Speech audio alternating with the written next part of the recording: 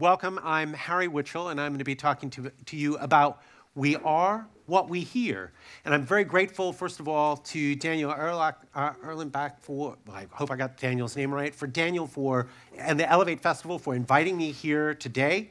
Uh, and I'd also very much like to announce how grateful I am that Diego Garcia and Margareta Meyerhoff are joining me today to explain to you what I think are some of the most interesting, fascinating bits about how music works. And we're going to be talking about the power of music and why music does what it does. So the, the structure of today's talk is, um, can I have that next one, please? So unfortunately, that we've got a little bit, can I also have some slides behind me, if possible? Um, what we're going to be talking about is first and foremost, why would we even need to know how music works? Isn't it enough that we understand that there is music? Then the second thing that we need to know about is how does science help us un to understand? And the short answer is that science, first of all, uh, tries to discover some new things, but more importantly, it hammers home some basic messages about what we were actually trying to find. We're also going to have a few false starts. So there, I'll be talking a little bit about uh, theories that I don't think I agree with. So a lot of scientists think that music is fundamentally a distraction, that that's all it does to you. And I'll probably disagree with that. And some people say that uh, music is a language. And I'll also probably disagree a little bit about that. Um, so what we're really going to do is we're going to be using some classic examples to try and prove the obvious. So why are we doing this? Well, if we're going to try and prove the obvious, what we really want to get to the bottom of is why is it that so many people in so many different places get really excited, feel strongly, or suddenly feel complete around music? And of course, the problem with this is that scientists can't run traditional experiments about music in the same way that they can run experiments with aspirin. Now, if you think about it, a perfect scientific experiment would be to have a person, have them with some sort of sadness, inject music into them somehow, and then measure whether or not they recover.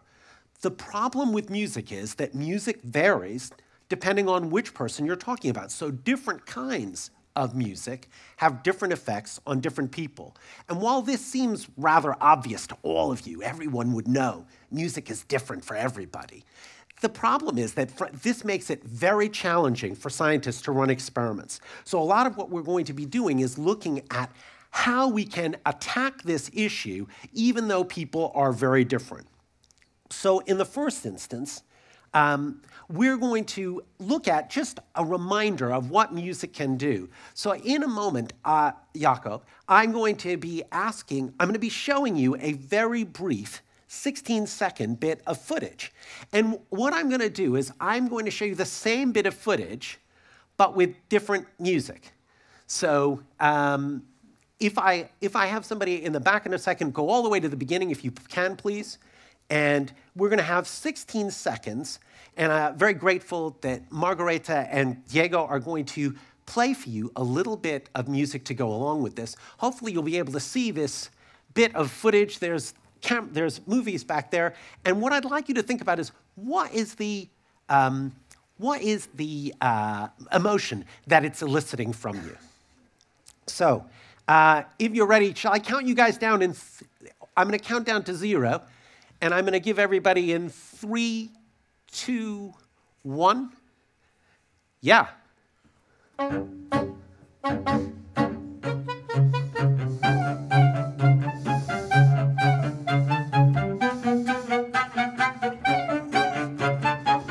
That's it. That's okay. So far, that's good. That's 16. So, so there was a bit of comedy there. But what did most people find in that, uh, that section? Is there any, would anyone shout out in an emotion that they felt for most of that? Yes? Anyone? Hunting. Hunting. Danger. Danger. Stressful. Stressful. Marvelous. So if we can do the same thing, but with a slightly different piece of music, again, starting from the, Jakob, from the very beginning of the footage, so I'm just showing you the same bit of footage, but with a slightly different piece of music, and we're going for 16 seconds, guys. And so if, we, if I can count in, in, in three, two, one, off we go.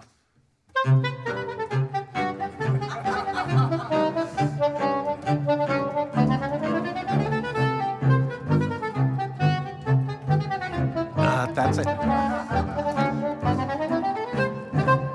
Great. Thank you. So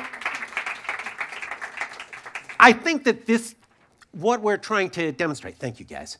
Uh, what we're trying to demonstrate here is, obvious, is the obvious, which is that music has a profound effect upon how we interpret things. In particular, when we talk about movies and cinema, it turns out that music has a profoundly powerful effect upon which emotion that we feel and also the power of that emotion. So this leads us to next, our next question. So if I could have a, another slide, please, which is, can music cure? So with music, a lot of people have used music as therapy, or, and some people would use music themselves to uh, change their mood. Music, when people do uh, surveys of Americans, they find that music has the second most uh, second most favored use of anything to change mood other than exercise. So when people are dealing with their own emotions, they think about music and exercise. So does this actually work? Well, people have known about music certainly since the uh, 1700s, they recently unearthed a ship off the bottom of the ocean, the uh, Mary Rose in England, and they found in the doctor's quarters a musical instrument, a shawm. So doctors have believed in the soothing power of music for centuries. But does that work with modern science? And what we actually, one of the one of the classic examples of this is an experiment by Thornby in which they had people respond to music while on an exercise cycle. So they got healthy volunteers, and in some cases, they even used patients with chronic obstructive pulmonary disease, so patients who had problems breathing, and they checked how fast they could pedal on an exercise cycle. with or without music. And what they found, can I go back a couple of slides? If we have a couple more? That's it. One more. Brilliant. So we're getting there somewhere. And um, so what they looked at was how people responded to pedaling uh, and whether or not they, how hard they could pedal and how, uh, how much the exertion felt. So they looked at subjective exertion. And what they found is that compared to silence, silence was the worst thing, that people often found that that was very difficult to pedal under those conditions. But they didn't actually pedal harder in the presence of music. Rather, they felt as if they had pedaled harder, and they felt as if there was less exertion. So, music doesn't necessarily make people stronger. Instead, it simply prevents people from feeling that they are being exhausted or exerting themselves so hard. So, what that suggests is that music can help us to eliminate subjective unpleasantness. So if I could have the next slide. So this is the beginning of one of the more interesting ideas, that music doesn't affect our workload output. It doesn't make us superhuman. Instead, music simply prevents us from detecting some of the more difficult and unpleasant emotions that we might otherwise feel when we're working really hard to get at something. So, with that in mind, if music isn't really working that way, does that, if music does cause us to feel less pain, does that mean music is simply a distraction? Well, if you look at the names of the papers that have been published in the English language literature on this, that one of them is called Effective Distractive Auditory Stimuli on Exercise Tolerance in Patients with COPD. So it's a really weird sort of thing. Scientists, people like myself, believe or publish papers as if all that music was was a distraction, that it didn't actually have much of an effect as a special stimulus. But I would propose to you that maybe music is a bit more than a distraction, that music can do more inside of you. So let's look at our second possibility. Can I have a next slide? Which is the idea that music might be a language.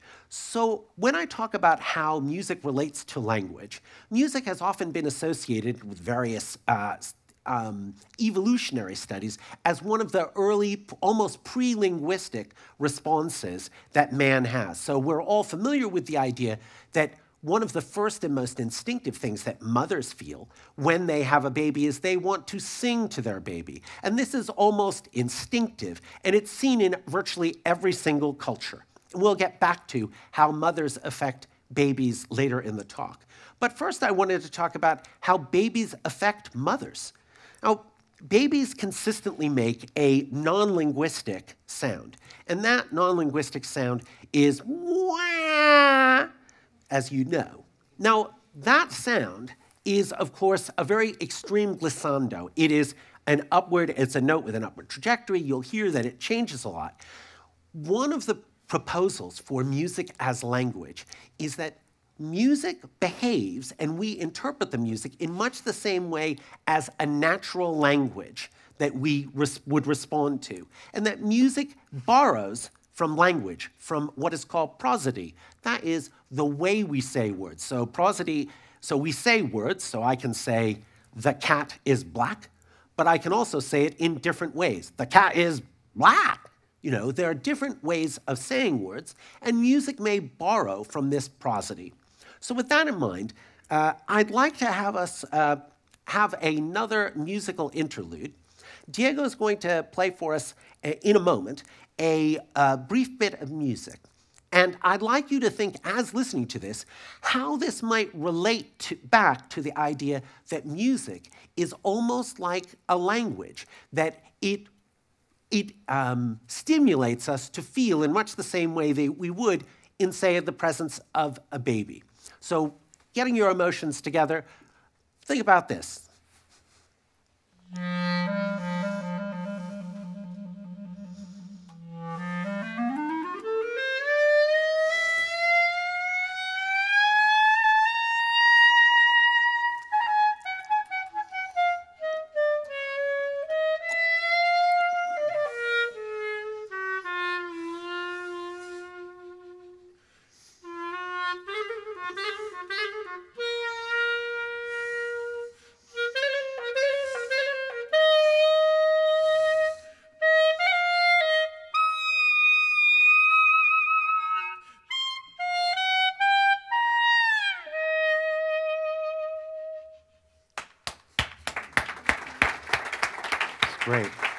Thank you very much, Diego.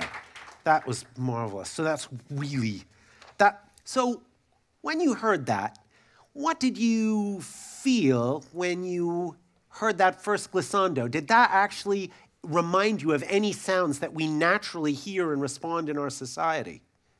Anything that you can think of? No one? Sirens, maybe? Uh, yeah, maybe a siren. So, uh, anybody think about babies at all? Can we have the gliss again? Just, just this one note. What does this make you think about?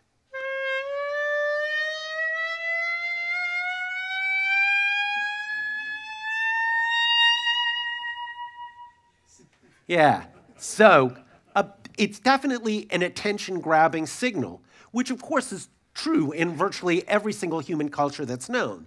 That's how babies cry, and they don't have to be taught that. That's not a culturally learned cry. And we have, in some ways, used this in alarm signals, and uh, had, technology has uh, taken or borrowed this natural response. So, what exactly does that how does that work? Well, scientists, particularly, I'm going to talk about some of the work by Patrick Juslin, would talk about something called the lens model. If I can have one more slide, please. One more.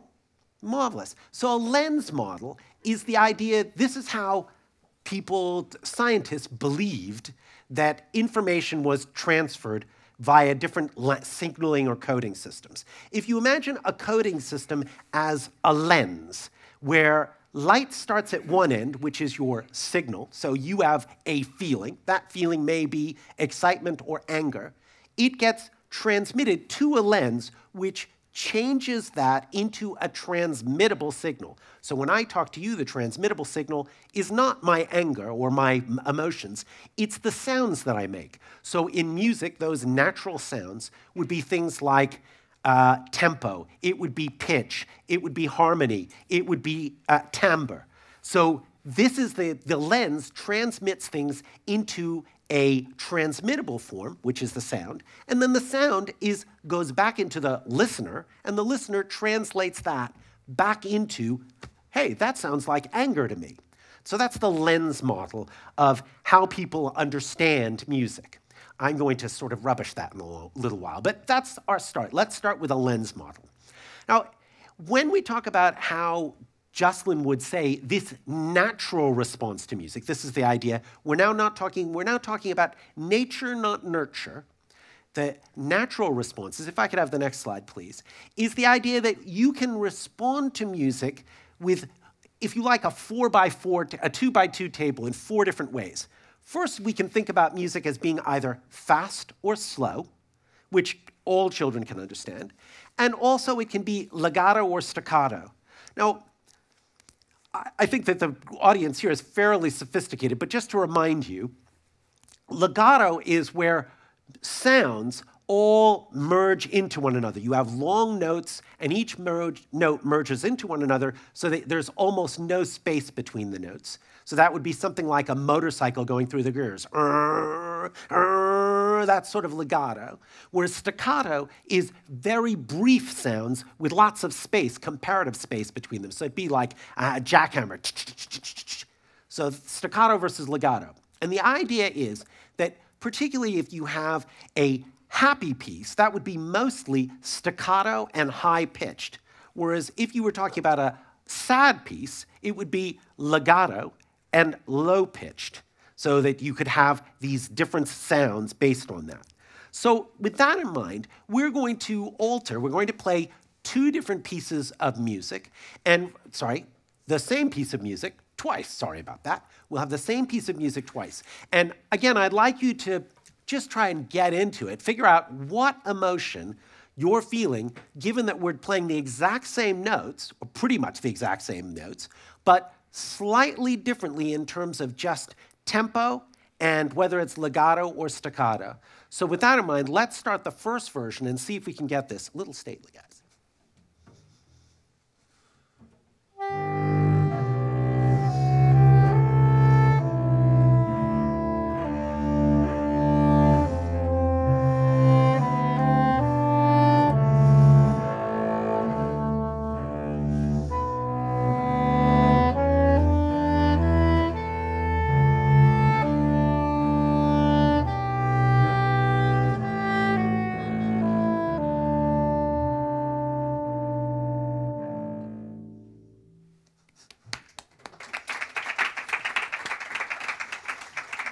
I just wanted to say, as a, as a sideline, uh, uh, Diego and Margaret are, are not only are they excellent musicians, but they love playing uh, contemporary work. And I've forced them today to play uh, all sorts of classical and comic pieces, which has entertained them to no end. but yeah, it's, it's been very great. It's fantastic. So that version of the piece of music, what kind of emotional response would you say that is? What is the feeling that you get? Heavy. Set. Serious. Empire. Empire. Yeah, baby. It's stately. Okay. Can we play the same notes again? But we're going to use Patrick Juslin's suggestion and maybe play it a bit faster and a bit more staccato and see if we get the same kind of response. Off we go.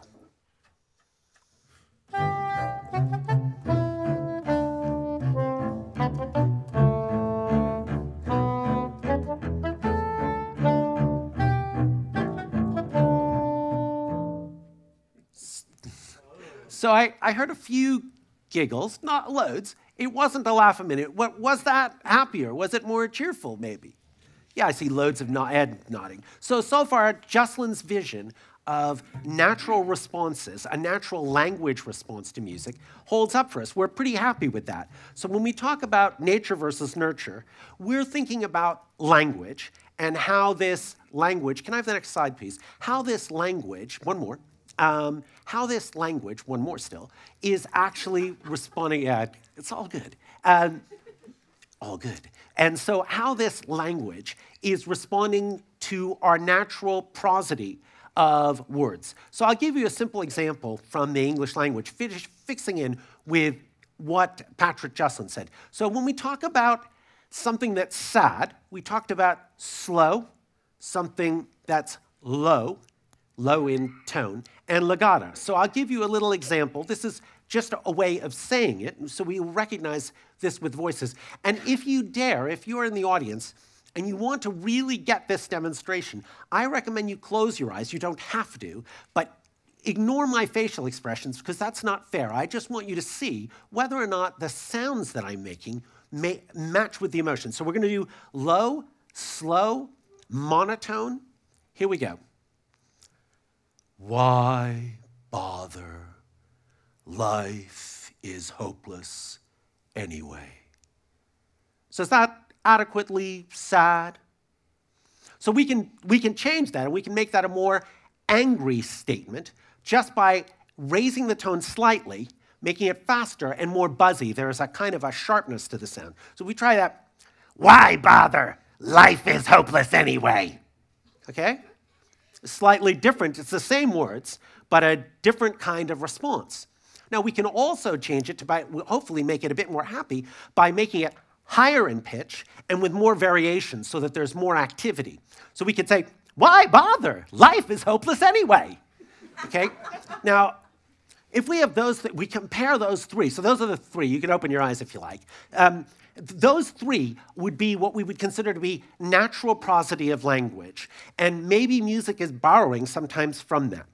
So, the kinds of things, if I could have the next slide, please, the kinds of things that music is borrowing from are things like prosody, things like pauses, tempo, how fast things are, attack. Do you guys all know about attack? How fast a, uh, a note hits, um, vibrato, jitter, and of course, pitch. But I'd like to talk a little bit about timbre.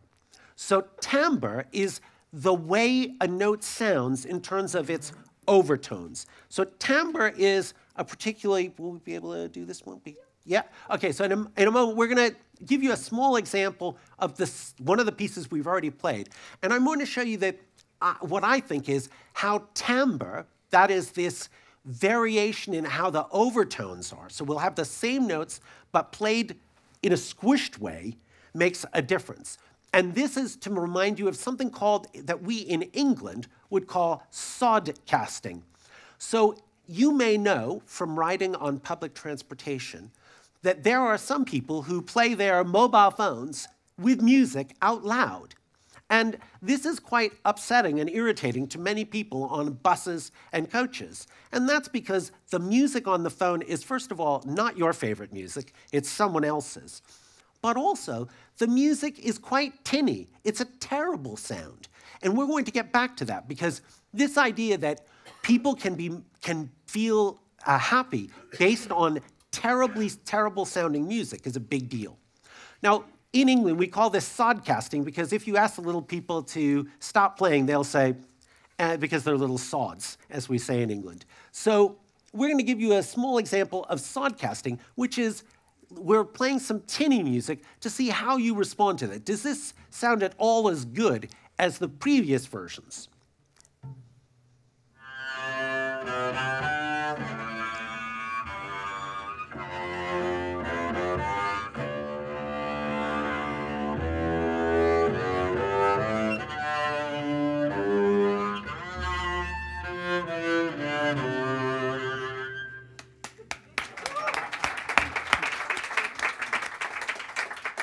It takes a real expert to make a bass violin sound tinny.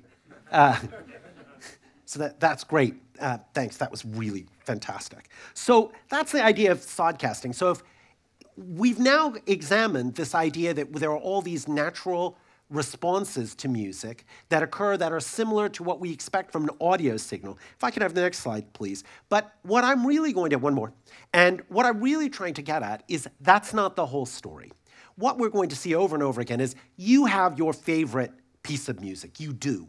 In fact, when you think about your favorite piece of music now, what do you when you think about it, what does it make you feel? Think hard now. What does it make you feel? How is that the same thing as what Juslin said? I bet there are some of you who find that you may feel happy with a sad song. Is that possible? Why would people feel happy? Why would a sad song any, ever make anyone feel happy? And what I'm going to argue is that there are two separate inputs into the mind and how we respond. One is these acoustic cues, that is the audio, the natural linguistic responses, but the other are associations. These associations, the mental memories that you have, are absolutely essential for how we respond to music.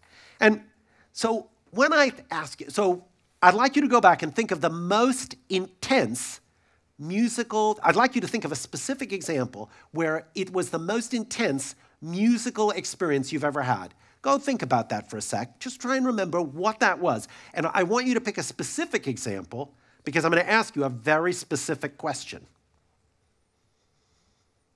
You all got an example. I'm going to ask you for a show of hands in a second. When you think of that that specific example, what was it that made you feel most intense about it? Was it the sounds, your mental associations, or the social context? Was it the sounds, your mental associations, or the social context? How many people would say it was the sounds of that experience that did it for them? So, mm, some, maybe a quarter. How many people would say it was the mental associations? Even more, gosh, nearly half. And how many people would say it was the social context? Daniel, I knew you'd do it. Okay, yeah, about a quarter. So it was def- for some people, it's definitely the social context. Fantastic. So we've got this idea that there are more, there's more than one contributor. We've talked about the natural responses that are linguistic, but there are also these mental associations. With those mental associations in mind, we're going to test your ability to make mental associations by playing a particular song which uh, is going to begin with quite a long note, as I understand it. So, in a moment, we're going to have a demonstration. And what I'd like you to do is just figure out what emotion do I feel by the end of this song. Okay,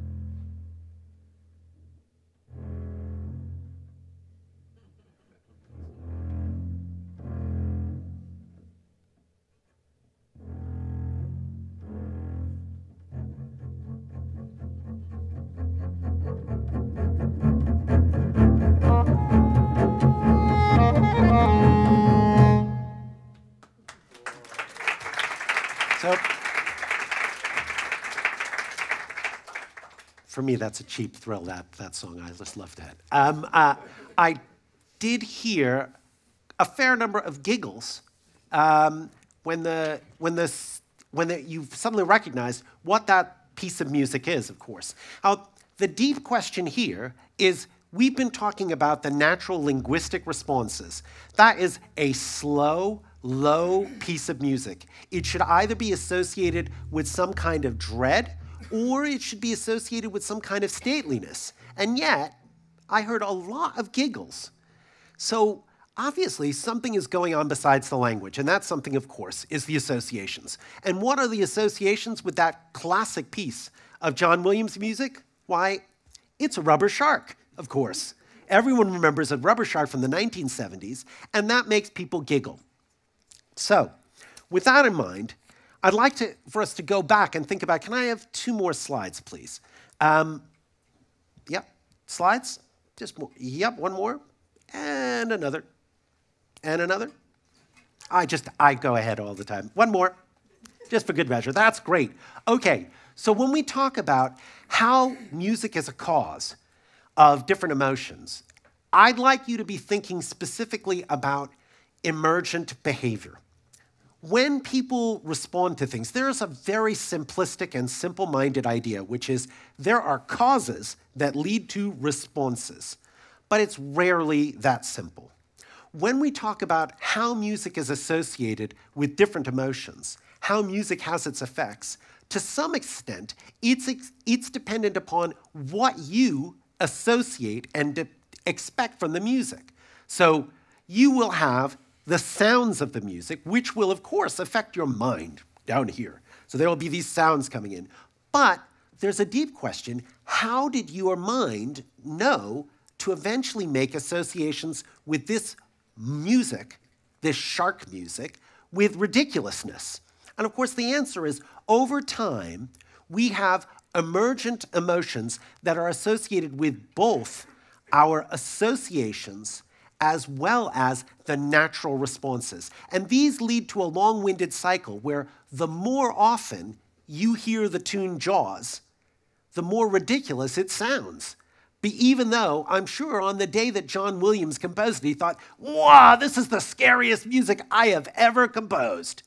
But now it's the silliest music he's ever composed. Try it on, the, on somewhere outside in the ocean. Yeah. uh, so we, we were told we need to try that with friends while in the ocean. We'll see how many, how many divers in uh, Australia enjoy that too. So this leads us to the question of how do we know which emotion to link with each piece of music? Can I have the next slide, please? So with, with that in mind, we're going to talk about children's melodies. So we talked about how children make mothers respond based on very fundamental sounds that we and every culture respond to, which is the sound, the siren like call of a sad or, or a frightened child screaming. However, we know that their mothers also respond or, to babies by naturally singing to them. And in every single culture that has been examined, there have been lullabies.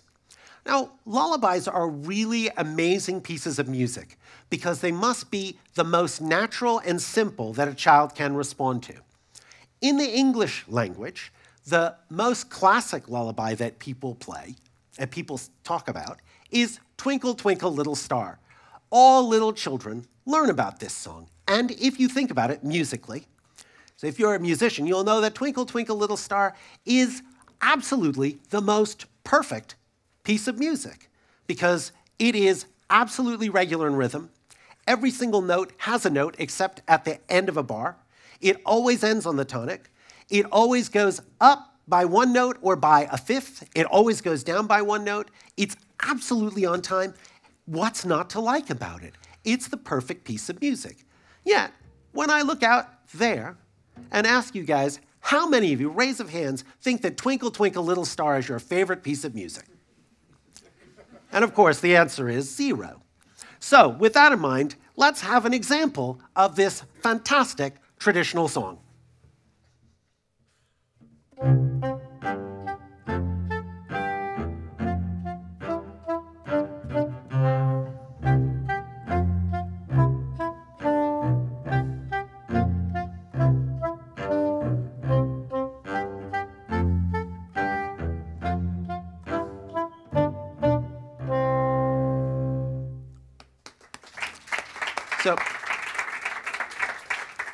Bit unfair having such good musicians makes, make the most out, out of Twinkle, Twinkle Little Star. I'm trying, to, I'm trying to make fun of the song. I'm not getting very far. But the point about Twinkle, Twinkle Little Star is as a song, it is regular, fairly rapid, and it also is in the major key. So many of us talk about how it's really obvious that music in a major key is happy, and music in a minor key is often considered sad. But in fact, if you test children on this, you find that children at about the age of three or four, if you ask children and play them different pieces of music, uh, if you ask them what emotion they hear in a different piece of music, they, music, children can recognize that faster pieces are happy and slower pieces are sad at about the age of three. But they do not recognize the difference between major and minor at that age. In fact, the difference between major being happy and minor being sad is something that for Western children normally appears somewhere around the age of six. So they learn that differentiation, that distinction at a much later age. And that is a culturally in, in established phenomenon. It is not a natural part of language. So, with that in mind, when we talk about music, how is it that people really respond to it and decide how to feel about the music? Well, it's based on something that I would call sophistication. That is, we start with the basics of music, so which we know when we are children. Then we are slowly taught these other new cultural rules, such as the idea that music that is in the major is, is happy, minor is sad. But over time, by the age of 19 or 20, people have what I'd call sophisticated rules. And in sophisticated rules, people will respond to music in ways that are almost upside down from normal people. So we're going to give an example of some a bit more sophistication. That is where we're changing all the rules around, and instead of making it absolutely regular, we're going to do some syncopation and just fiddle around with it to make it a little more interesting because all of you look like you're over the age of four. Off we go.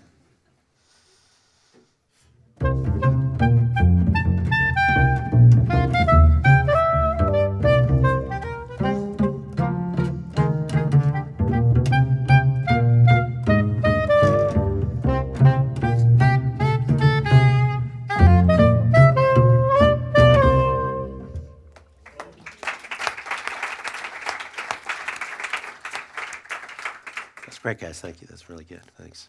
So, um, what we've gotten there is this really sophisticated version of Twinkle Twinkle. Did most of you find that a bit more interesting, I hope, than the first version? Yeah? Marvelous. Okay, I'm happy about that. So, we're still struggling with this idea of nature versus nurture.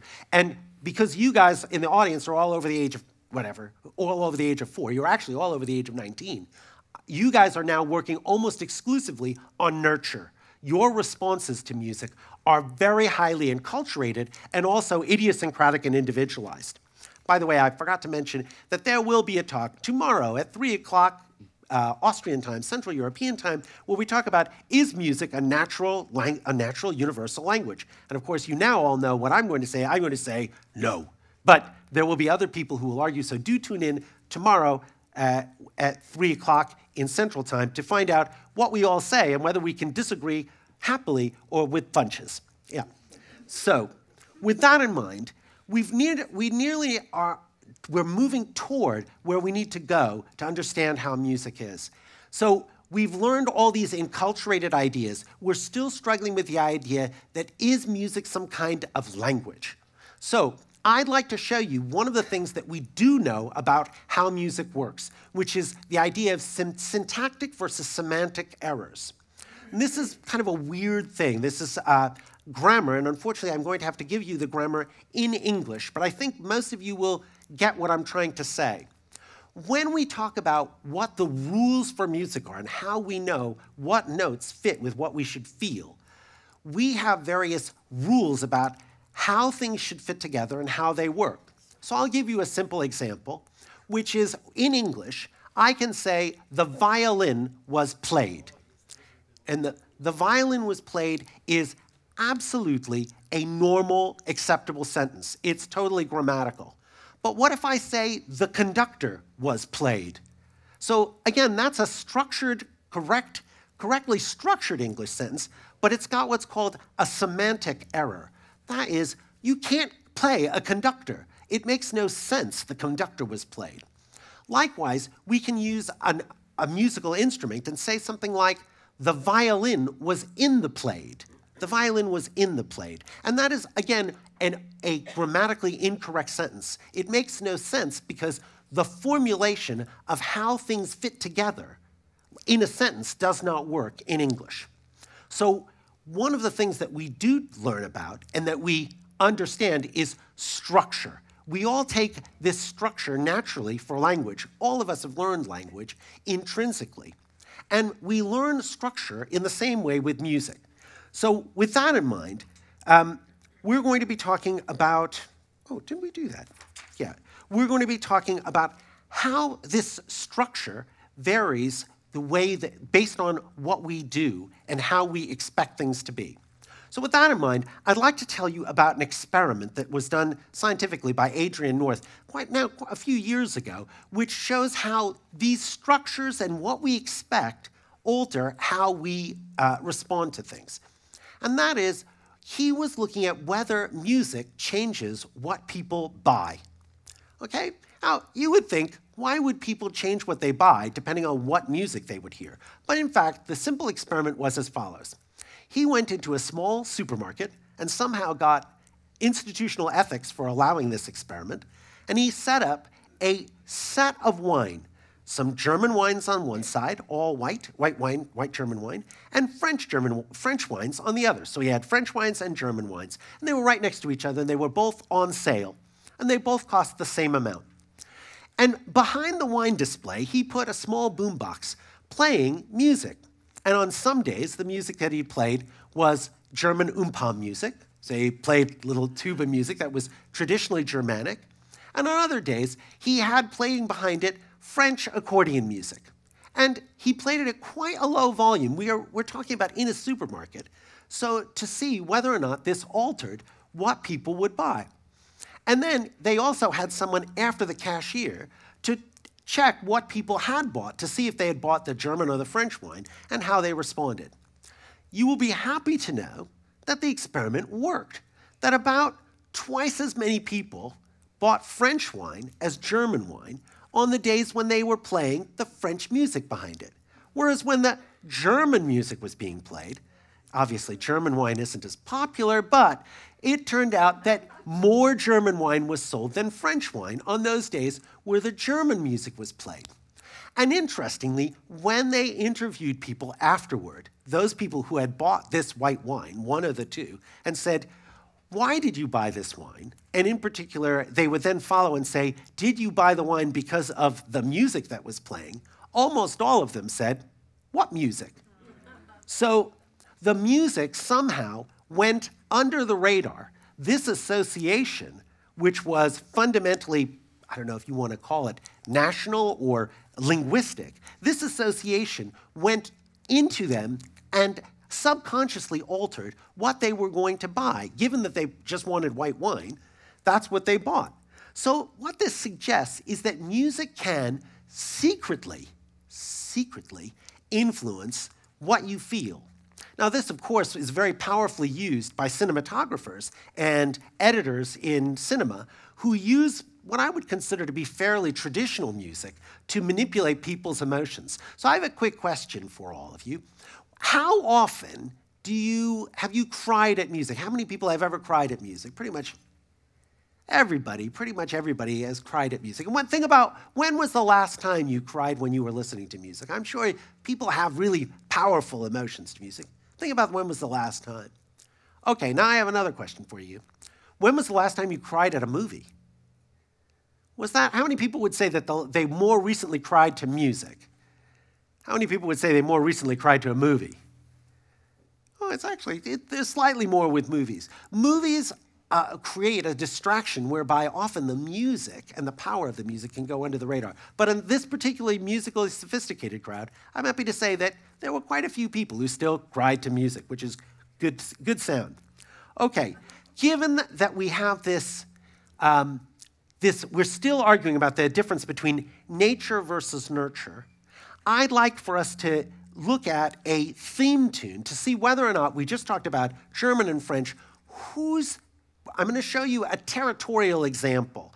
And I'm going to ask you, which territory do you think that this is? And we're going to be playing that one? Okay. Yeah. So, and while we're, while we're playing that, um, do listen out, by the way. You're going to hear in a moment, uh, hopefully, a piece that immediately will make you think of a particular situation or a group of people. People I use loosely. Uh, but you'll also, I'd like you, for those of you who are musically sophisticated, try, try to enjoy the, the fact that it's got the devil's interval in it. You'll hear it at the very beginning. You'll hear this uh, sharpened fourth, which just makes the music extra difficult to like. But here we go. Let's go for it.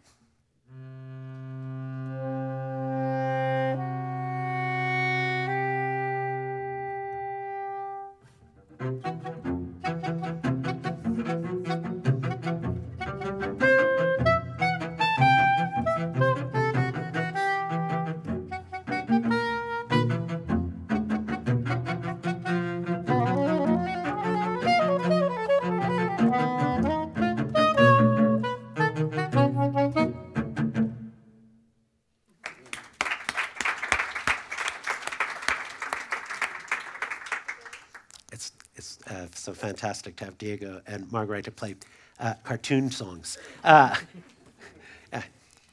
so obviously, with, hopefully most of you immediately were drawn into that Simpsons uh, place of, of mind where it makes you think immediately about a group of people and a situation. So that fits in with what we were talking about before about this French and German music and how that immediately affects people. So, one of the things that we're really talking about is familiarity. And familiarity is probably the single most powerful effect of music.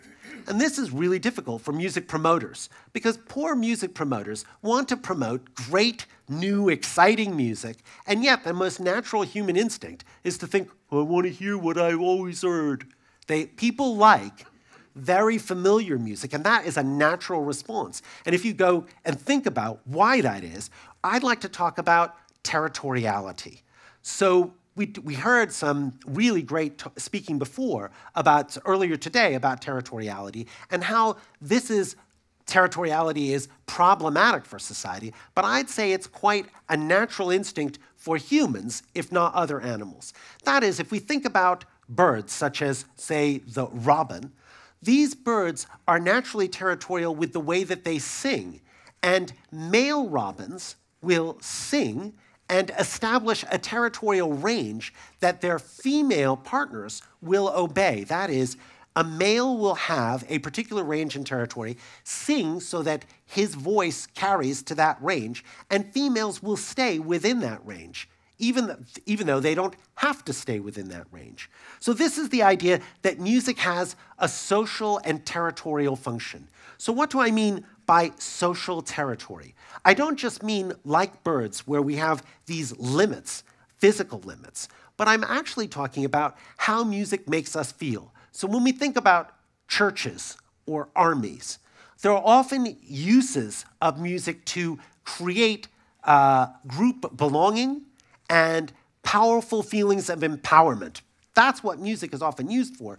Lots of groups feel highly empowered, but only when they hear not any piece of music, but the music that they associate with themselves. And that's likewise, that's no different from, say, the robin singing. So each bird will sing precisely its song in precisely its inflection, and it's an identifying signal. And you get used to that signal and view that as your territory.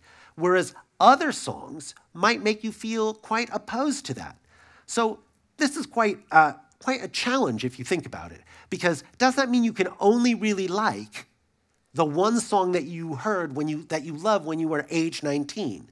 And the answer is, of course, you can expand your musical taste, but often your musical taste is determined by what we talked about before those semantic and syntactic rules. That is, you learn fine grained rules about what is your music. You learn what instruments it is, what timbres it should be, how the music is organized, and what it should do. And likewise, you learn what music doesn't do, your music doesn't do. And from this, you learn how to accept new pieces of music, if not new formats of music. So, with that in mind, I'd like us to look at the most territorial piece of music that I can think of, one that immediately creates an association with the Western canon. That is, so all of us are very uh, open minded. We are all looking to the world and outside, but I'd like us to think very specifically about the great Germanic traditions of music and think about does this music really just identify one type piece in time that identifies a particular part of Europe? And off we go.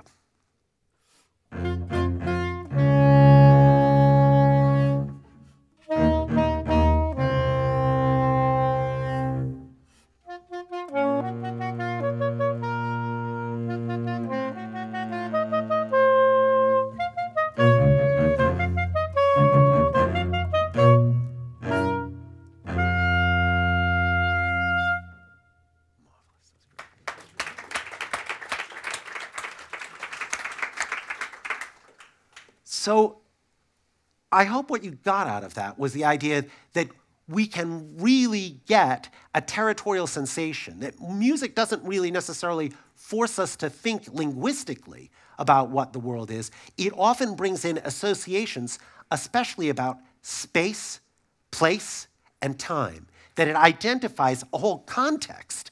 That particular piece, it just says everything about Beethoven's time. Okay? So, what we're really saying is social territory isn't just a place here, it is a state of mind.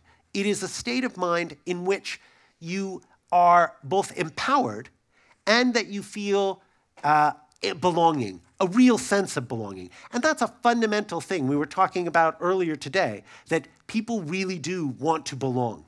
So, with that in mind, I'd like to close by just saying thank you once again to my musicians, Margareta and Diego, and remind everyone that I did write this wonderful book about music and territory called You Are What You Hear. And you can buy this, and I have to say this, of course, because my publisher says, What's the point of having a book if you can't you can't say something about it. So, with that in mind, I'd love to take questions. I hope you've enjoyed it, and I hope I'm very grateful again for Daniel and also my musicians, Diego and Margareta, for doing such a fabulous job of supporting this situation and playing quite, quite happily uh, some quite challenging pieces. Thanks, guys. Thank you all.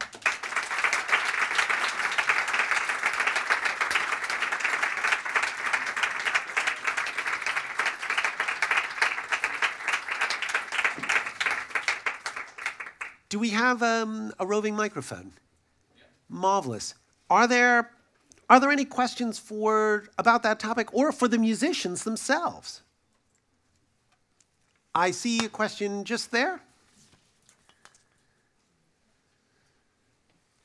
How would you, how would you explain that you can hear a piece of music maybe 10 times or maybe a type of music and you never really like it? You don't really feel good about it. And then you have one experience, there's maybe the context is a bit different, and suddenly you think, wow, this is great. And then from this day onwards, you like it.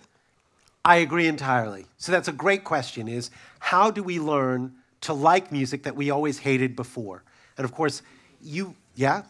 And of course, this is kind of like what we were talking about with familiarity. That is, you know what your music should be, and you will find music from outside that territory as dissatisfactory. But of course, if you hear something often enough, particularly if it's associated with some other positive input, remember we talked about associations as well as the linguistic phenomena.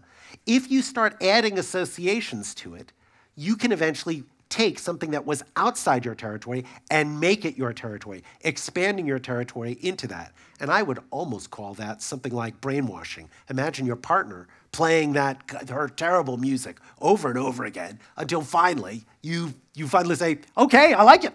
So, so I mean, obviously, uh, that's a, a, very bad joke, but uh, you get the idea. Is that there are these different uh, there are different cycles and pieces. And this was what I, I think your point is getting to where we wanted to go, which the most important thing was that music ultimately and its responses is emergent. It is not just a cause and effect, that it's a constant ongoing cycle. Jakob.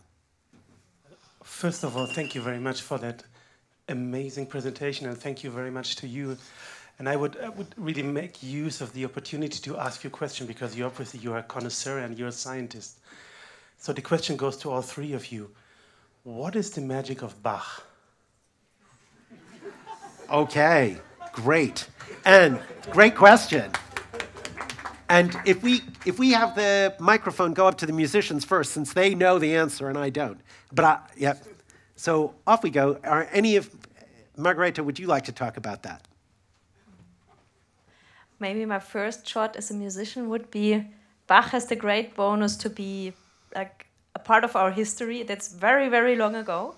So basically, the chance is very high that everybody of us has listened to it. So it's not as marginal or niche that many contemporary types of music are. And so this is why also this the power or the impact of this music spread to so many people because the likelihood that everybody sort of has heard it one at least once in your life is quite high. Well, as saxophonist, I didn't used to play so much Bach, Bach music, but I have to say I played already some Bach. even though he didn't write music for Bach, for saxophone. But yeah, I think he at, at that time he, he could write music very easy music and, and using small details that that worked. The the for example, if we analyze the, uh, the harmony or the, the melodies from the fugues or from the the um, the, the, the inventions or for for piano, the, the melodies sounds very easy, like very you, you could hear them, so you don't need to, to interpret it so much. Maybe that's the, the reason we we accept this this music like magic. Yeah, and also the musicologist me would add that especially Bach has been taken by further generation as kind of the standard model of what Baroque music of counterpoint, tonality, and music theory is. So it has been become so much a part of our canon as standard that it also has like so much sunken in into our model what music is supposed to work like that it's also kind of the part of what you call culturalization. Yeah. Even if you didn't study music, it's so much ingrained into our basic rules that everybody gets taught. Yeah. So it's it's ev- it's everything we've talked about today. Literally, so it's got associations. It's using language, but the most amazing thing about Bach, of course, is the things like counterpoint. He he uses melodies that are simple enough to follow, that are in everybody's territory, but by complexifying them, he makes them unbelievably complicated so that they, you never can tire of them. That is, they're sophisticated. And that sophistication that we've been getting at, it's sophistication based on things that are fundamental. So it's like all of the best bits of Twinkle Twinkle Little Star, but with everything else added on, all the, the bells and whistles of our adult taste. That would be my personal taste. I would like to ask you about the, uh, how may I call it, the sound nature of music, as you mentioned at the beginning. Uh, did you also do some research on the nature, the sound nature of mantras, which is uh, sort of uh, have been cultivated at the Southern Asia Mantras. cultures? Yes.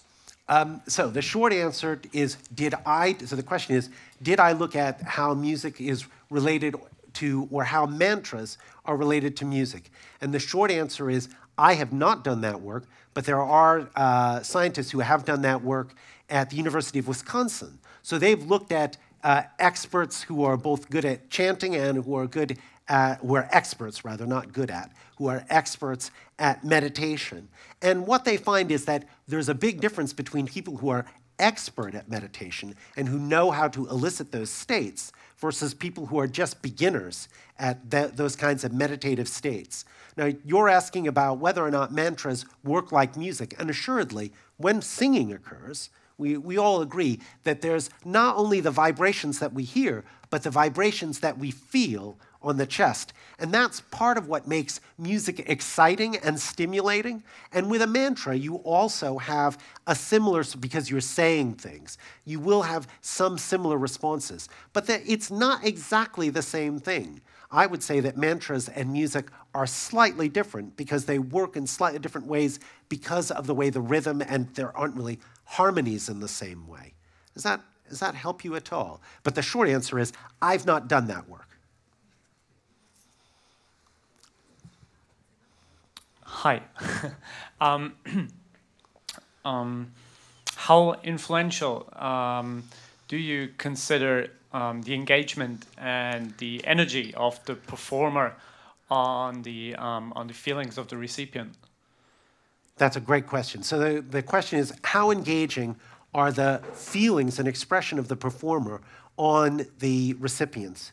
And unequivocally, the answer is enormously, particularly if, so they've, they've done experiments where they've looked at whether or not people could see. So what they've looked at is whether or not um, they were, uh, had expert musical judges. These are people who normally admit people to conservatories to determine whether or not the judges were sensitive to seeing the player versus just hearing the player. And sure enough, they are sensitive to what they see.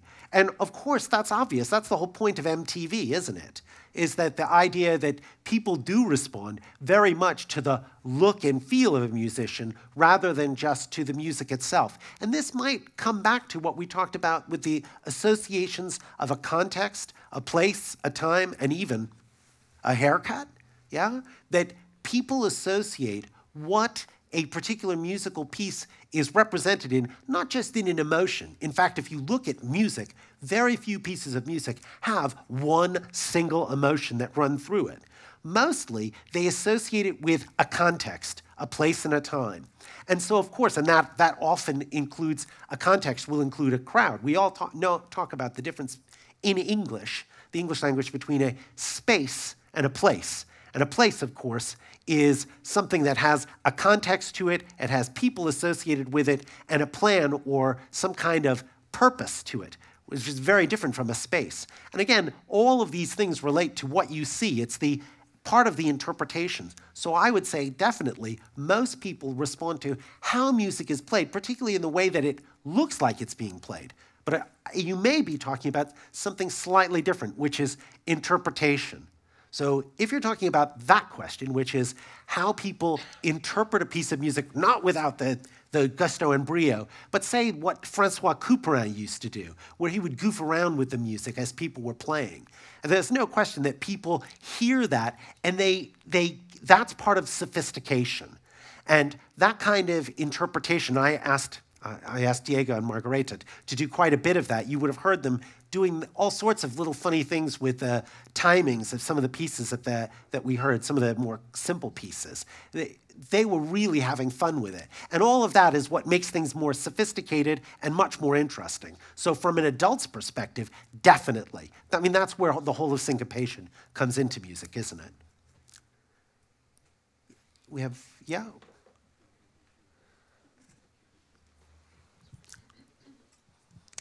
Hi. Um, so the idea of a concert hall, of a concert, of listening to other people play music is 200 years old. It's a very recent human phenomena. Uh, and I'm interested in, you know, previous to that, music had a place, it was part of a rite or ritual, or it was part of a ceremony or a festival or whatever. And have you looked at how, what happened when suddenly music is something that you contemplate and you, you don't participate in it, to, you know, how was it before? Was there a different relationship, emotional relationship to music when it was not in a concert setting? So the first part of the question is, have I specifically looked at this or have I written on it? And the answer, so the question is, what's the difference between music before it became a concert phenomenon versus now when it is a concert phenomenon? And I would say everything, you know, music was a participatory event. It was uh, ritual. You've said it all, actually. You said it. It's, it was ritual. It was participation. It was you. You were part of it, and you became a part of it. Now, as it's a, a classical audience-based thing, what you are limited to in music is the listener has to take the music and be absorbed by it rather than necessarily just sing it or be part of it. Now, there are some advantages to concert music because, of course, you often get extraordinary and huge sounds. So when we think about, say, a Wagnerian symphony orchestra, something or some big orchestra, you get sounds that are huge. And I'm sure you guys are all aware of the psychological phenomenon that the longer, the, the larger the group, the more likely it is that you get extraordinarily powerful emotional responses. And you know, when you have crowds of huge crowds making a lot of noise, that is a big thing. So I, I often think of those scenes uh, with Romans, uh, you know, Roman armies and stuff. They're all shouting. Of course, those kinds of sounds are very exciting and stimulating. But I would say we have lost a lot, generally, in, in our goal to get music to be much more perfected and professional. We've lost a lot of the natural instinct that we've, uh, we would normally have from a participatory bit of music. I'm afraid we don't have any more time, but I thank you all for questions. Thank you very much.